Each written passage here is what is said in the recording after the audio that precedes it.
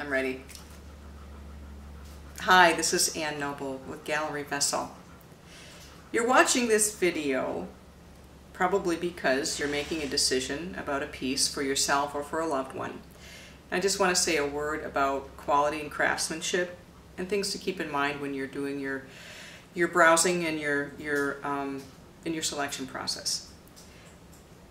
I formed Gallery Vessel because I had, of course, the unfortunate experience that you may be having of, of selecting a piece for a loved one and finding that there's a really bleak uh, options out there. There's not a lot of variety. There's not a lot of quality even. There's a lot of mass-produced pieces um, that are imported and so forth, and the craftsmanship and detail may be lacking.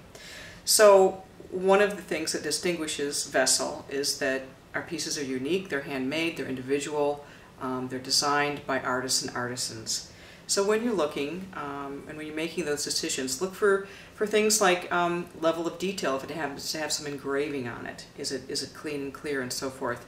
And are there things included like we have here, like um, uh, a beautiful uh, twig or, or something organic involved? Does it have a pedestal? Things like that are not common, um, but they might be they might be considerations that would make a piece stand out and it might resonate with you or your loved one. So a couple things to think about.